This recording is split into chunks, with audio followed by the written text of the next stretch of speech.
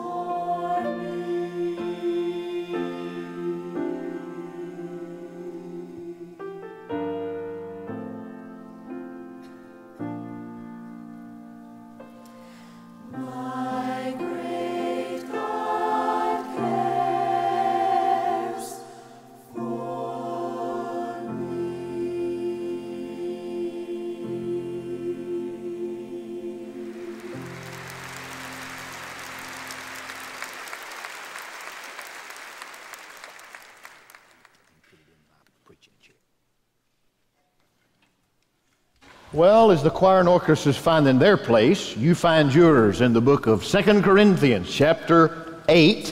And in a moment, we'll begin reading in verse 16. Well, probably in your mailbox, uh, you received one of these uh, relaunch brochures this week. I know I got one. Uh, I looked at it and then I went through all my mail as I went out to get it. And I thought, well, if everybody's mail was delivered like mine, that my congregation is going to think, man, he's double teaming us. I got this and I got my giving envelopes at the same time, all right? And I thought, well, that's just a prophetic word. Amen. That's what that's all about. So, uh, hey, you got your relaunch brochure and you've been praying about that. It's Stewardship Month uh, here at Olive during the month of November as we're moving toward our commitment Sunday on December 7th.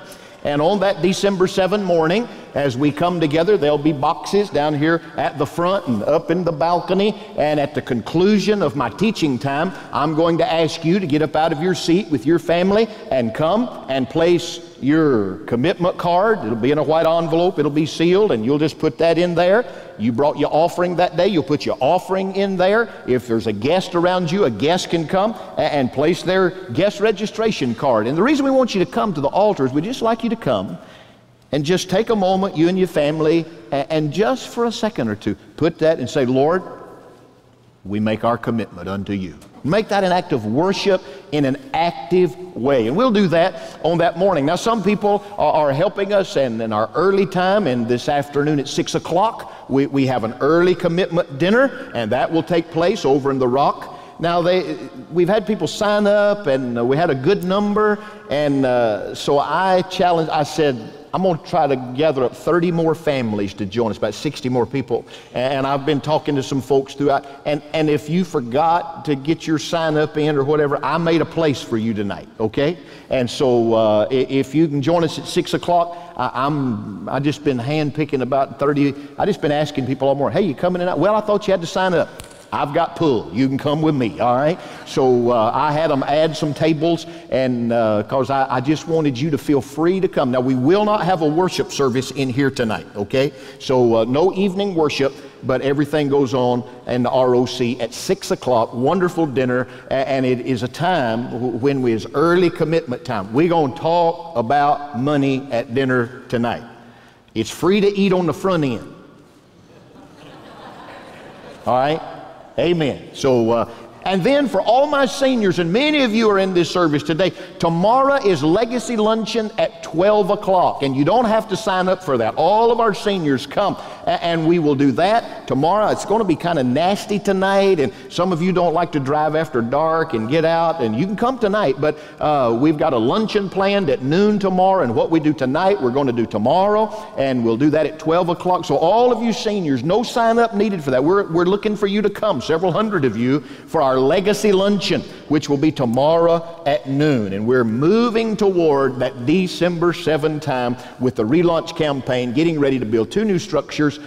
uh, here on the campus. One is a middle school structure that'll be right out here, and then a new fellowship hall that'll be back this way.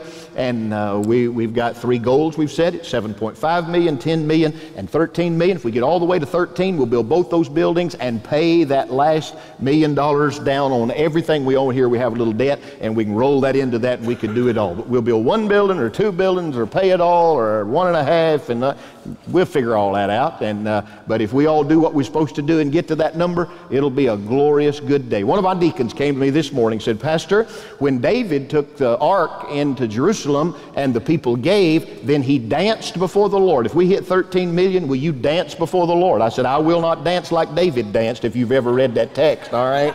So, uh, but uh, I'll be one happy camper if we just obey the Lord. So you do what God directs you to do. As Liz and I, uh, we went to uh, a commitment deal with our deacons the other night, and uh, my wife raised our commitment $20,000 when we walked out of the building.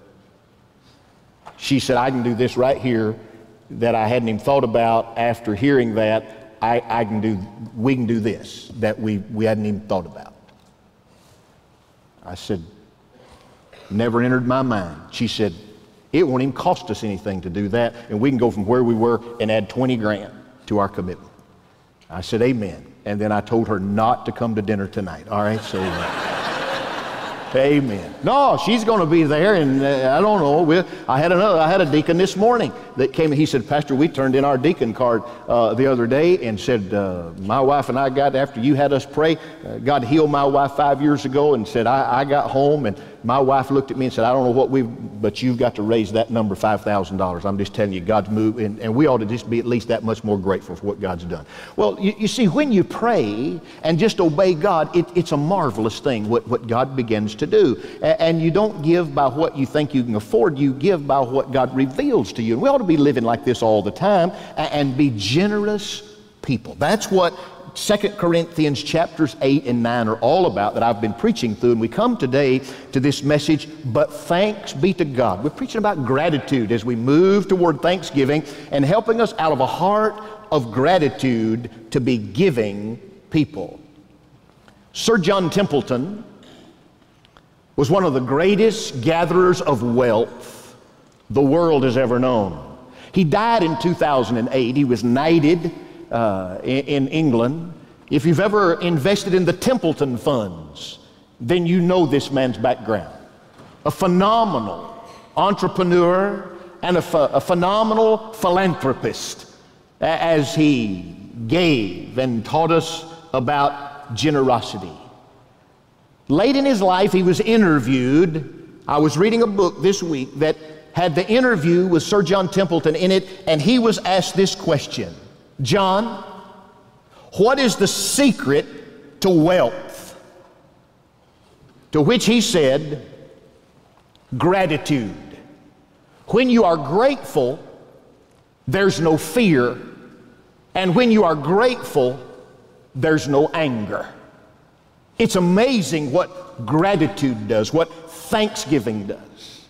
And when you gather together with your family on Thursday and it's just a time when we find, we just say, don't worry about, just be grateful. People that we might have been angry with before, it just melts away because we're grateful. That kind of spirit is the Jesus spirit within us. What's the secret to wealth? It's gratitude. Fear and anger melt away, said Sir John Templeton, when gratitude flows through your heart.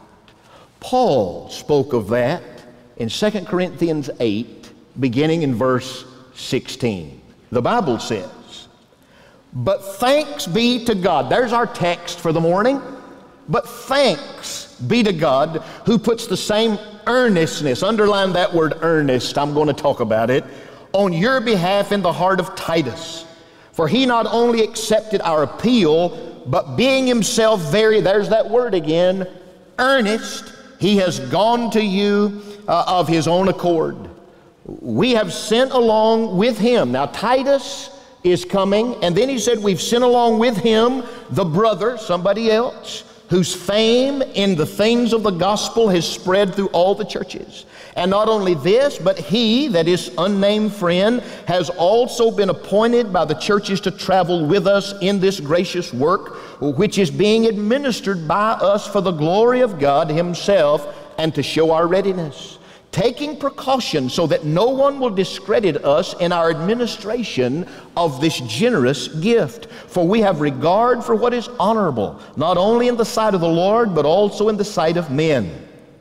We have sent with them, that is, with Titus and this first person, there's a third person named here. We have sent with them our brother, a third person, whom we have often tested and found diligent in many things. But now, even more diligent because of his, that is the third brother, his great confidence in you. As for Titus, he is my partner and fellow worker among us. And as for our brethren, the other two, they are messengers of the churches a glory to Christ. Therefore, openly before the churches, show them, Titus and these other two, the proof of your love and of our reason for boasting about you. Paul is writing to the church at Corinth. They're taking an offering. That's what chapters 8 and 9 are all about. They're raising money for ministry and for the relief of the poor in Jerusalem and they have taken a great offering. It is a large offering, it is a God sized offering, and they are going to move it from Corinth to take it down to Jerusalem. And to send the offering, he puts together a committee of three Titus, the first brother, and then the second brother. Now they are unnamed in this text. Many writers believe it was Titus, Luke, and Apollos, but we don't know that. But let's give them a name today. Let's say that it was Titus, for we know that. And let's say it was Dr. Luke, and let's say it was Apollos. We'll just give them names because historians guess that that may have been who these two brothers were that went with Titus. And Paul is saying in verse 16, but thanks be to God. Now, I'm grateful today for a lot of things. I'm grateful that God called me to be a preacher. I'm grateful that He saved me. I'm grateful that I am healthy today. I'm grateful uh, for employment uh, at this place. And some people get their spiritual nose bent out of joint sometimes when I say I'm grateful for my job. And they say, Well, preacher, you don't have a job, you have a calling. Well, I do, but I get a paycheck. So it's just, you know, work with me here. I, I do have a place where I'm employed and responsible for and responsible unto. And our staff is that. When I'm grateful today that you would let me be here and that you would employ me to do what God called me to do many years ago. But out of all gratitude in this text, what I think Paul is grateful for and what I want to laser focus in for a few moments today and help you is to be grateful for your relationships today. I want you to be thankful for people today. That's what I think. I think Paul is grateful for Titus, person one, person two. We're going to call him Luke and Apollos. He's grateful for Titus, for Luke, and Apollos, and all that they bring to his ministry. I'm grateful today. And so in my prayer time this morning, I sent just a text or two to people that are out of town from here and said, I'm preaching today on gratefulness for people, and I want you to know I'm grateful for you. You told anybody you're grateful lately? Tell anybody you love them? Saturday morning, I went down to the hospice care and visited with Jay Jeffcoat. Then this morning, as I said, and those three deacons, we went down and laid our hands on him and prayed over he and Debbie this morning in our deacon time. One of the best deacon prayer times I've ever been a part of. When I left yesterday, I looked at Jay and I said, Coach, I love you. And he said these words to me. He said, Pastor, in the last two months, I have had more people tell me with sincerity that they love me than I've ever had in all my life. And boy, that gripped my heart.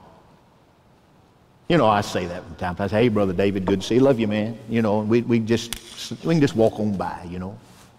And we do, but but there's something about taking the hand of a man that doctors have said if God doesn't intervene, you'll go to the other side quickly. It's like you're telling a dying man, I, I, I love you. And as Jay said, there's just deep sincerity in those I love yous I've heard the last two months. It, it changed me today. It pulled my heart and it made me get out my phone today and send a, two or three texts this morning early to say, Thank you for being my friend. I am grateful for you. What kind of people, well, do we find Paul being grateful for? That's what I want to talk about for a few minutes today. Thanks be to God for people.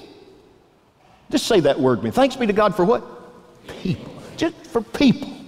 You know, that, that's important stuff, these relationships that we have. What kind of people do we find Paul being grateful for? Five kinds of people in this text I want to show you, and you got to listen in a hurry because it's a long way from one to five when this guy is doing the preaching. All right?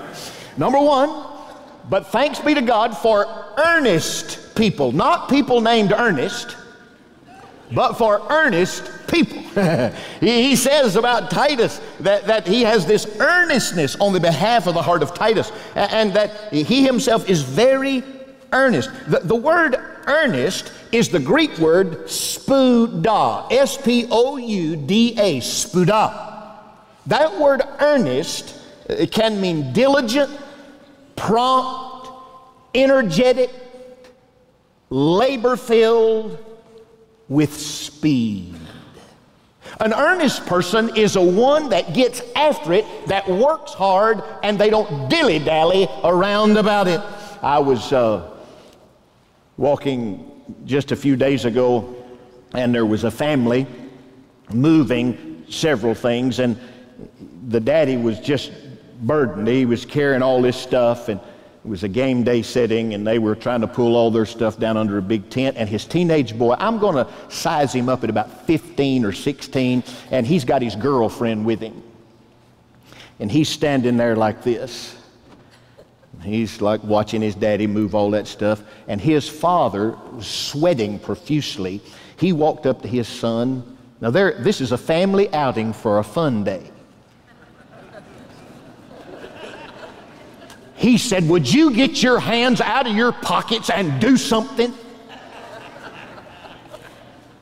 Well, in the biblical sense, he was saying, Would you please be earnest? get your hands out of your pockets and do something.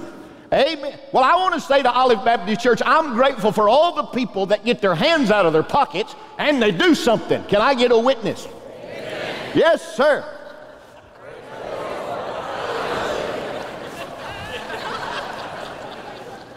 Diligent people.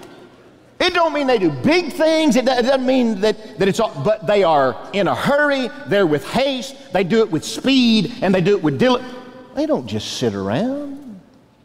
These are earnest. I want to introduce you to an earnest individual this morning. She's my dear friend. Her name's Evelyn Widener, and she's coming here right now, walking down uh, to the front. And I've asked her to let me interview her quickly today and, and share with us just a couple of things. Sweet Evelyn has been at Olive for a long, long time. Uh, how many of you she's uh, done the, the wedding and reception, either your family or you know just hands everywhere. She and Sweet Dawn been been our friends forever, and still working uh, down in our uh, food service delivery and all she does. Evelyn, how you doing today? Great. Good. Great. Now, tell me when you got married here at Olive, 1958. And which building was it? It was in uh, Passmore Hall. in Passmore Hall in 58. That had to be like way, Way. yeah, 54 years ago. yeah, 54? Okay. It wasn't Passmore Hall. No. Where was it? Um, No, Passmore it was Roosevelt. That's Hall. right. Yes, ma'am. All right. We're just making sure we got all that straight. All right. I knew it wasn't because, Russo. yeah, Brother Jerry wasn't even alive in 1954. All right. So Oh, yeah. he was. He's my age. Oh, okay. Oh, man. Now, we- we're going to hide the microphone if you're going to do that. All right. Oh, okay. When, we got ready to build, when, when you were, a you told me a story. When you were a high schooler, what, what building was it we were building? Uh, Russo Hall. All right, we're getting ready to build Russo Hall. And you were just, uh, uh, and what did you do in order to help give to that building? Well, I, my father worked with uh, E.I. DuPont. He upbuilt Monsanto. And they were here, and I came, of course, and I started PJC. And they had to be transferred back to North Carolina, so I thought, well, I'm not going back because I'm in school, so I got a job at uh, W.W. Woolworths. And lots of young people doesn't know what that is, but it's a store. Yeah, I shared that with uh, Alan. He's up there running the sound, and I, I said, Alan, do you know what Woolworth is? He said it must have something to do with sheep. He didn't know what that was. But, so he, he didn't know what the five and dime was, you know. But but you worked at Woolworth. Yes, and uh, I wanted to be a part of that, and I thought, I don't have any money uh, to give. So I thought, well, there's a loans place down the street. I'll just go down there and borrow some money.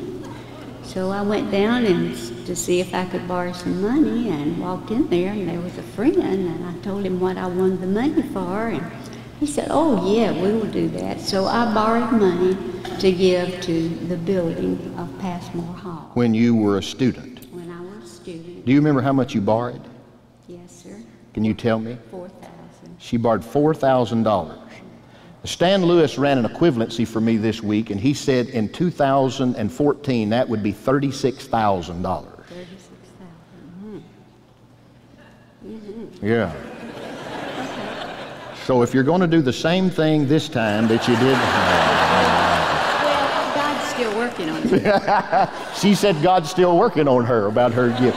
Wow, what, what an earnest gift that that was. And that's been the heart. See, this is the bedrock of what Olive's been all these years. And Don Widener sat right back there for 106 years. He sat right back yonder and was a faithful deacon and giver and uh, daddy. And uh, boy, he'd love to watch that little girl grow up, Oh, wouldn't he? he would. And that's why I'm so excited to know that my little Gabby will have a place to Amen. go Yeah. to church. Well, I want to thank you, Miss Evelyn, for being my friend and for sharing your heart today. I know that's not the easiest thing you do. You'd rather be in the background. I know that.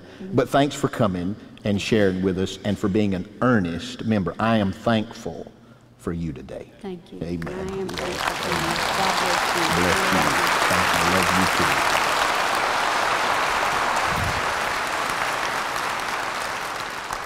Earnest people. Earnest people.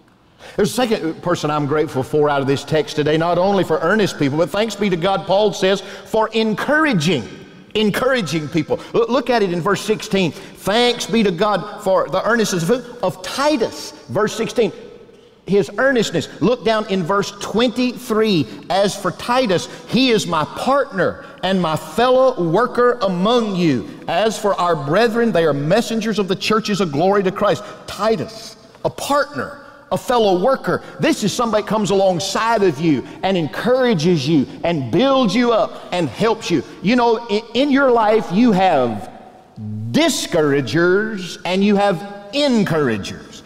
Discouragers take courage out of you, encouragers put courage in you. You know those discouragers. Oh, Pastor. You know, it might be a good thought, but we can't do that. That's discourage. So, well, that's just reality.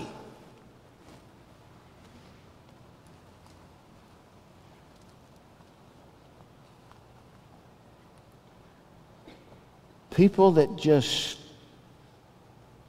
take it out of you. They're the vampire friends. They suck life out. Some football coaches on football teams call them energy vampires, where they take the life out of a team. And then there are those that put life in. Amen? Aren't you grateful for encouragers? They'll send you a little note, they'll pat you on the back. They'll say, Man, I couldn't do that. I'm, I'm glad you're the one doing that. That's the dumbest thing I ever thought, but go get them. They, they put courage in you and they build you up. I came to be your pastor in 1990, and a few years after that, Dr. Passmore came back to be a part, and I, I didn't know Brother Jerry all that well. I have not had anybody in the last five years to encourage me more than Jerry Passmore's encouraged me. Matter of fact, he made a little video that I want to show you. It's about two minutes long, just about this giving program. You know, it's easy for the former pastor just to sit on the sideline. Somebody asked me, said, Whenever you do retire, what are you going to do? I said, I'm going to stay in Pensacola and I'm going to aggravate some young preacher. I said, No, sir, I'm going to be the greatest friend that young preachers have ever had. To be their encourager. I'm going to try to be a soul winner. About 10 years from now, whenever that comes. But I'll tell you, Brother Jerry's done that for me. He's put his arm around me. And he's spoken a lot of encouraging words to me. And I want you to hear him speak an encouraging word to his church today. Let's run that video for me. I'm Jerry Passmore. I've been a member of Olive uh, since 1972, and I served here for 17 years as pastor. All of us, of course, want to, to be a part of this effort. Now, some of us are senior adults. I happen to be one of them. I found in attempting to raise money for the Recreational Outreach Center that our senior adults were the hardest people to get on board simply because they, they just didn't feel like that was going to be for them. But I would say to the senior adults, we need to get involved in this as well. My former wife, who's expired, and I gave liberally to all of our building programs. Now, my present wife and I are going to give liberally. We, might not be here to enjoy it all that long, but we have a commitment to building the kingdom of God. And I'd like to challenge our senior adults to get on board and to make a contribution and understand that it's for the, the glory of God and advancement of His kingdom. And we might be uh, senior, we might be elderly, but we still have a ministry that we can give to the Lord. We still have a ministry and we give it unto the Lord. I preached at the Florida Baptist Convention just a few days ago, and Jerry and his sweet wife were there. And when I finished, I went out and got a drink of water and talked to some folks. And when I came back in, I slid down in the seat right next to our pastor emeritus. And, uh, he leaned over me. He said, Preacher, you did too good. I said, What? He said, You know that they're going to aggravate you now more than ever to come take Dr. John's job. And said, You just, he said, I prayed for you about halfway through. You did too good. And of course, that was his way of his backhanded compliment and just saying, Well done, Pastor. I was proud of you today. Many of you encourage me, and Brother Jerry is one of those right at the front of the line, putting courage in his pastor. I'm grateful to God for Brother Jerry and uh, for what he's helped me to do and what he continues to encourage me to do. Thanks be to God for earnest people, for encouraging people. Thirdly, thank God for evangelistic people. Evangelistic. Look in verse 18. He said that we sent Titus first, and then they sent this other guy. We think it's Luke, but we don't know. And he said, We have sent along with him the brother whose fame in the things of the gospel has spread through all the churches. And not only this, but he's been appointed by the churches to travel with us in this gracious work that is taking the money, uh, which is being administered, there's the administration side, by us for the glory of the Lord himself and to show our readiness. And he also takes uh, precautions so that does not discredit us. Luke is, is the evangelistic person. Aren't you grateful for people who share the gospel? He said he has a fame in the gospel. You're famous for something. You may be famous for the cakes you make, amen? You may be famous for a multitude of things. But this man is famous for the gospel. Amen. An evangelistic person. Well, I'm grateful for those that have a hot heart for the Lord Jesus Christ. This week, in my own life, I had two wonderful uh, occasions with people that are on their deathbed. Now, I have people from time to time say, Preacher, do you believe somebody on their deathbed can get saved? I really do. There's a gentleman who is, was up at Sacred Heart Hospital.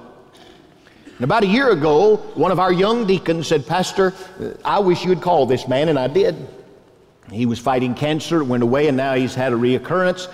And unless God intervenes, he may not live long. And one of our other young men was there to see him just last week and he called me. He said, Pastor, would you go with me to visit and call the man's name?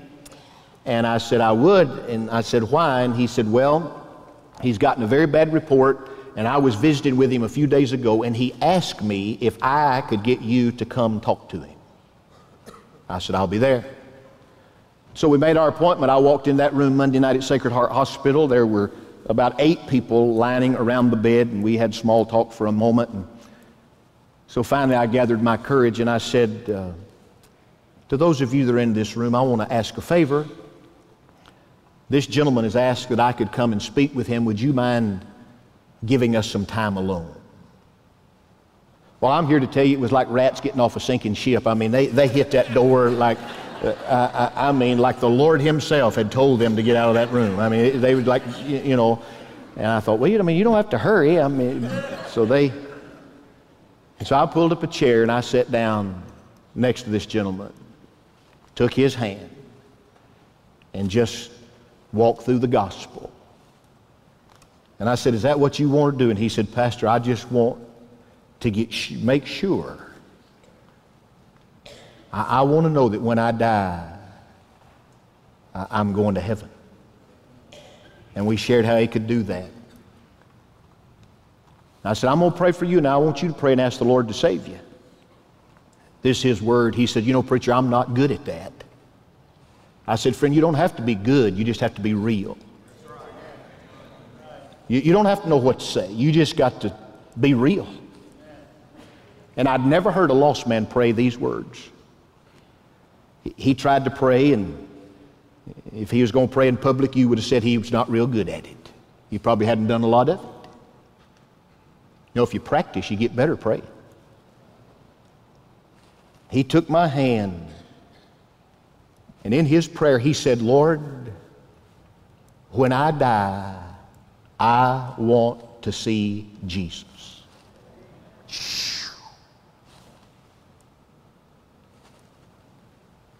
Save me. Forgive my sin. For by grace are you saved through faith. It's not of works. Whoever calls on the name of the Lord will be saved. The same man that wrote 2 Corinthians 8 wrote 1 Corinthians 15. And in the first six verses, he said, This is the gospel. In, that Jesus came and lived and died and he rose again. This is the gospel. Jesus died for you. And if you will call on his name, he'd save you today. I don't know who you are in this room. I don't know why you're here. But if you're here and you don't know that you know you know, I'm telling you, you ought to walk down this aisle today and you ought to pray a prayer and you ought to say, Lord, save me because I want to see Jesus when I die. Because I'm here to tell you, friend, if you don't see Jesus when you die, you're going to run into somebody you really don't want to meet in the next life. I had two Jehovah's Witnesses come to my door yesterday. I had on an old ragged shirt and a ball cap. They said, Do you go to church anywhere? I said, I do. They said, My name's such. What's your? I said, My name's Ted. Shook their hand. She had a little pamphlet about the devil. She said, Do you know who the devil is? I said, Oh, yes, ma'am. I talked to him this morning. She said, Well, you know what he does? I said, Oh, yes, ma'am, I, I do. I, I'm, I'm well acquainted. She said, What do you believe about the devil?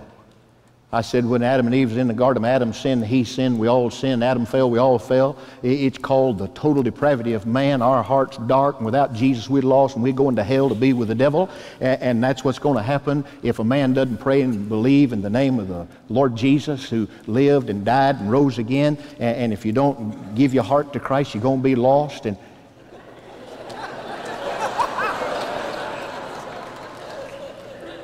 and they looked at me and, and, and said, Now, which church you go to? I said, I go to Olive right up here. And she said, I hear that's a pretty big church. I said, It's pretty good size. And uh, uh, she said, I meet a lot of people that go up there. I said, Well, there's, there's a lot of folks that go to that church. And I said, I go sometimes, and I, I like to be. Let me tell you, friend, the gospel. The gospel is not about which church you're a member of. The gospel is about do you know the Lord? And I love evangelistic people. And I thank God. I mean, those two ladies, they don't believe what I believe, but, but I wish I had some folks that had the earnestness that they had to go knock on door. Speak to folks. Thank God for evangelistic people.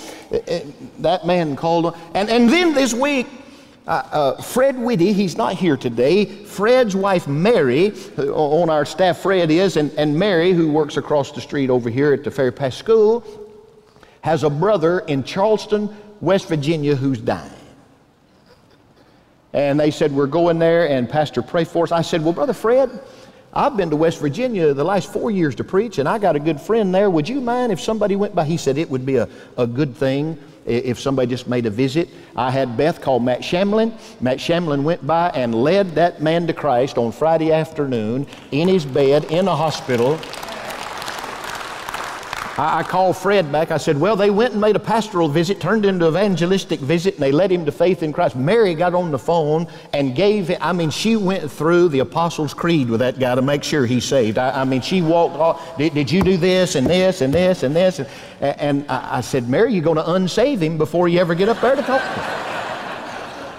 Oh, she was thrilled. Can a man on his deathbed? I'm telling you, if you believe, you can be saved. Thank God for evangelistic people that speak the gospel of the Lord Jesus Christ. I, am grateful for earnest people. I, am grateful today for encouraging people, for evangelistic. Number four, I'm grateful for ethical people. Thanks be to God for ethical people. In verse 22, we find the third man, maybe this is Apollos. We've sent him with our brother whom we have often tested. We found him diligent in many things. And he talks about the administration uh, of the gift. Now, watch this.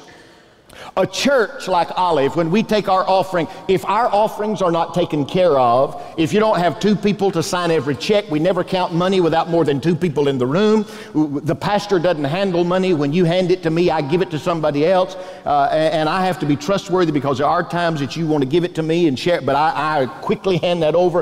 When some of you in relaunch will give stock, I'm going to do a little of that myself. I've got one stock, it's gone nuts, and I'm going to give it away before it goes in the tank. And, and, and and I'm going to do that, and that's going to be part of my gift. And we are set up to receive that. And as soon as Dan gets that in our brokerage account, we sell that. We don't play around with it. We, we sell it. Get what I'm telling you is a, a church has to be accountable for its money and has to have ethical procedures. And I'm grateful to God for our counting committee, for Dan Beard, for Stan Lewis, for our deacons that handle our money when they take it up right here. You, you see, you've got to have people that are trustworthy trustworthy. Amen. You, you, don't, you don't take a man that just got out of jail for armed robbery and put him on the accounting committee. You disciple him, you help him. No more than you take somebody that has abused children and let them work in a children's building. You don't put them in that kind of procedure, that kind of uh, environment, I mean. You've got to have procedures in place. You got to have a finance committee that helps, it works with the staff and, and, and do all those things. Thank God for this man. They, they sent these three people Lu, uh, uh, Titus, number one, number two, maybe Luke and Apollos, and these three guys carried the money. See, there wasn't any direct deposit from Corinth to Jerusalem. You, you didn't just hit a button and it go down. You, you had to take that, ride it on a mule or a donkey or a wagon or go on a ship or something to get across and you gave. And these people were, thank God for trustworthy I'm grateful to God for those kind of people that are around me. And on December 7th, when you walk forward, and you, you place your offering in this basket and up in the balcony, and we'll have those stations where we just put that there. Then some of our people will come and they will tally that. And they I won't do that. We've got a team that will do that. They'll count that up and we'll see where we've come to in our commitment time and our pledge time together. I want to encourage you, man, be praying. Be praying about what God would have you do. If you, you didn't sign up to come tonight and you'd like to come, I want you to come tonight. I'll get you in there, all right? We need to fill up those extra tables. I put it to back. That'd be a good thing. You come and just hear and be up front and be out on the end, the, the leading edge. We started with just 20 people. In our first little gathering, we had 20 people, and they've given us an indication, and we, we took those, well, 21, 21 people, because uh, we had one other come in. 21 people already committed over a million dollars to relaunch campaign. That encouraged me. We add to that another 300 and then another 300. And all of us, everybody do something. And when we gather it together, we'll do it in an ethical way. And people will handle your cash and they will do it properly. Oh, we've had issues around here. Several years ago, we had somebody was stealing part of the offering. We don't know how it happened, but we found on we found some envelopes up in the ceiling tile. Somebody got into the offering and they took all the cash out and they threw the checks up in the ceiling tile. There, but now be very careful. There, there are cameras all over this place now. Okay? And, and we, will know who you are. Now, a man would rob God. My Lord. What would he do to you? Thank God for people that are ethical like Titus, Apollos, Luke. There's one other person I'm grateful for today. Not, not only, uh, and I, I'm grateful for these earnest people, encouraging people, evangelistic people, ethical people.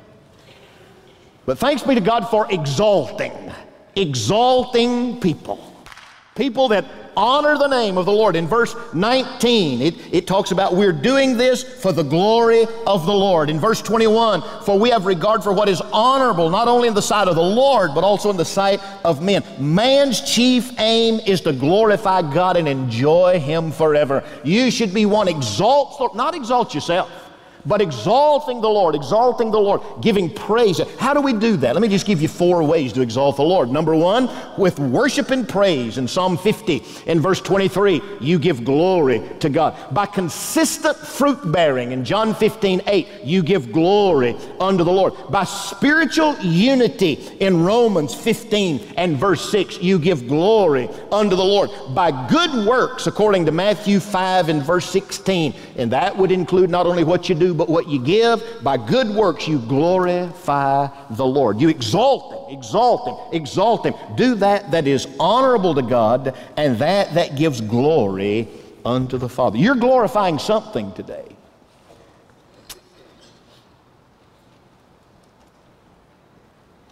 And if you're glorifying something that you will not give unto the Lord, you've just made an idol out of whatever it is you're glorifying. You got to bring it all unto the Father.